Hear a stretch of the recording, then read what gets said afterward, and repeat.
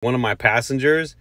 And then I was like starting to think like, I wonder if it's me. Like, what the hell? Like, do I stink? And I'm then I started thinking, I said, man, what is that? So I finally opened up my hood and I want to tell you, man, I realize y'all probably don't even know this. Maybe you have this rotten egg smell too. It smells like like it's sulfur is what it is. Found out today.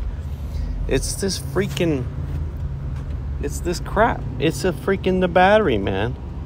The battery. Out of all the things, it's the dang battery, man. So like this stupid battery, this battery, I had to get a whole new one today, and the only way I could, the only way you're gonna find out is you got to go get it tested.